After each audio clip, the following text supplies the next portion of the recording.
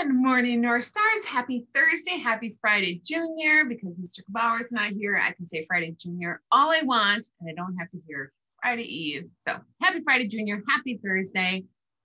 You're going to have a great day. I just know it. So put a couple extra masks in your backpack for when you forget it or when it breaks.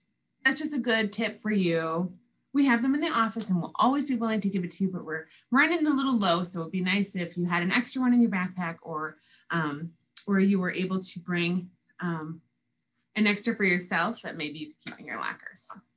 Just a fun tip for us. Um, also, some people um, spill water on them and do things like that. So um, having an extra in your backpack is always a smart idea.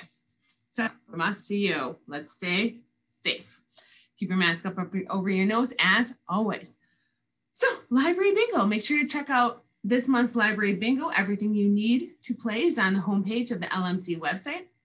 Stop by for more information also about the public library's new teen room, teen room, and makerspace. It is amazing. You're gonna love it. Don't forget to bring your back those overdue library books, and please remember to bring your charged Chromebook to school every day.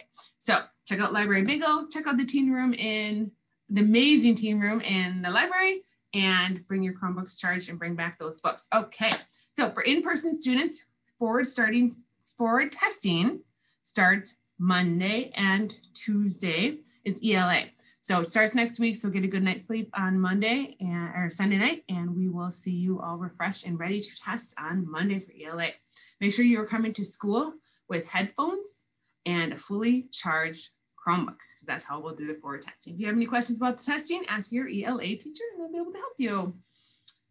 Look at announcements tomorrow. There will be a video updating staff and students on the North Star logo.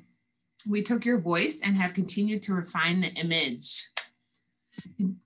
Oh, and also the seed exchange that was going to go on, it was snowing, so we're going to push the seed exchange to next week. So keep stay tuned for more information on that seed exchange. It will be hopefully next week if Wisconsin can get their spring on. Today's ACT vocabulary word is brouhaha.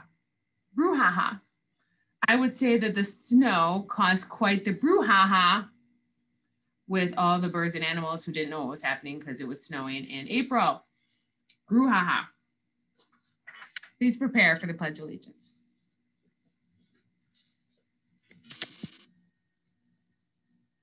I pledge allegiance to the flag of the United States of America and to the republic for which it stands, one nation, under God, indivisible, with liberty and justice for all.